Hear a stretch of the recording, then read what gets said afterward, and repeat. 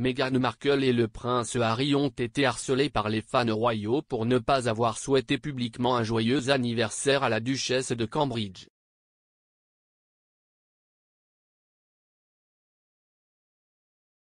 L'expert royal Charles Ray a affirmé qu'il était probable que Meghan et Harry souhaitaient à Kate un joyeux 40e par rapport à Zoom.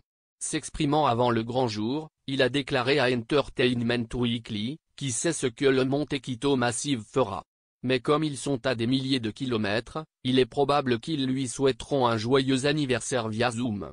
Cependant, le manque de reconnaissance publique de l'anniversaire de Kate a enragé les fans, avec un utilisateur de Twitter qui a écrit « Si est ta belle-sœur.